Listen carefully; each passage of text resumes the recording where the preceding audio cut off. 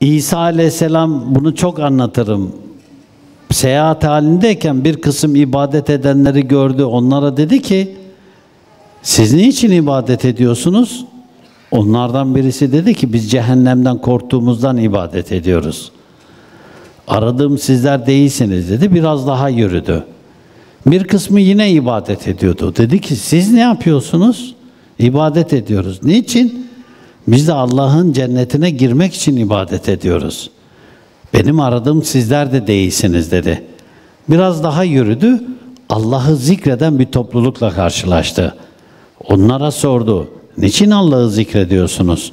Niçin toplandınız böyle ibadet ediyorsunuz?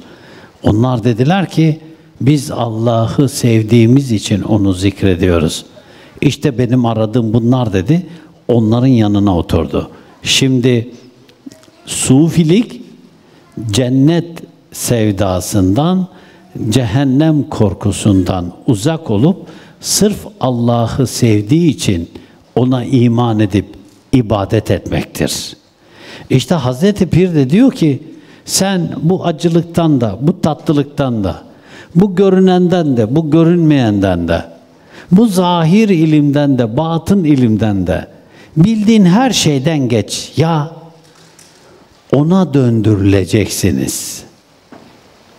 Onu ara. İman edenler de ona döndürülecek. İman etmeyenler de ona döndürülecek. Bu dünyada iyilik de yapsan, kötülük de yapsan sonuçta ona döndürüleceksin.